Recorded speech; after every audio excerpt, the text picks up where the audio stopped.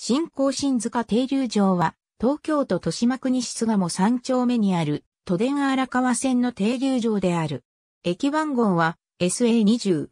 当停留場は1911年の王子電機、起動開業当時には設置されていなかった。1927年から1931年にかけて行われた中線道振動整備に伴い、1929年に振動との交差点に接する形で開設された。相対式ホーム2面2線を有する地上駅である。白山通りを挟んで、早稲田方面のホームは東側、美濃和橋方面のホームは西側に位置している。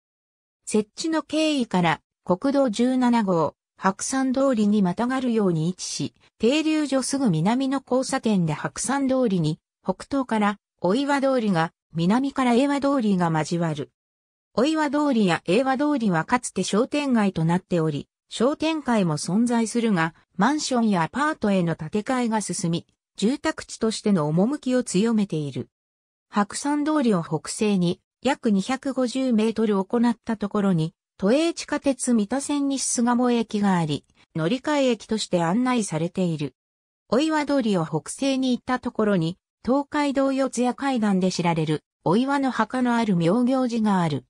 駅名に含まれる、甲信塚は、英和通りを南に行った、隣駅の甲信塚停留場の近くにある。ありがとうございます。